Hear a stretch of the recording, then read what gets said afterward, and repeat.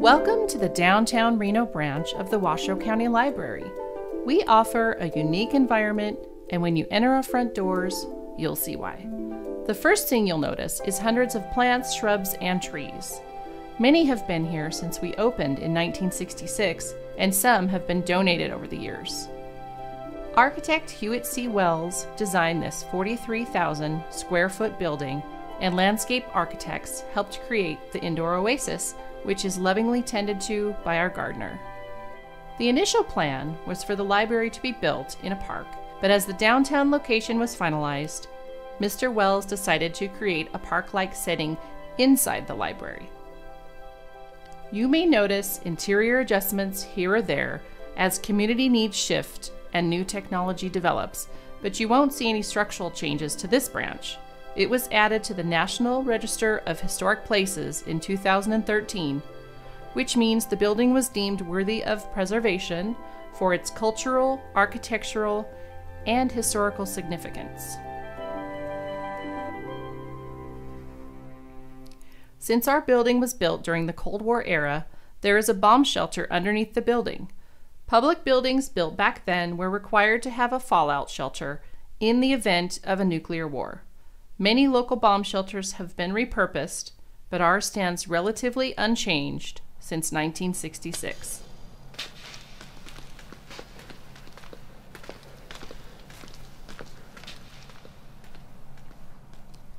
Some folks remember when the children's area was originally located on the lower level near the pond.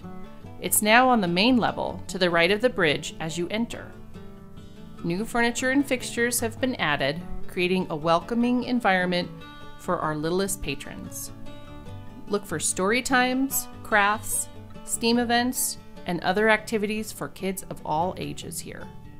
Also in the building is our beautiful auditorium where you can attend a variety of events or reserve the space for your own needs. There is even a grand piano for patrons to use. This branch also houses our Technical Services Department, which is responsible for selecting and ordering both physical and digital materials for all the Washoe County Library branches. On the fourth floor is the makerspace, known as the Quad. Use of this equipment is offered free of charge during specific times and under staff supervision for patrons to create, make, and enjoy.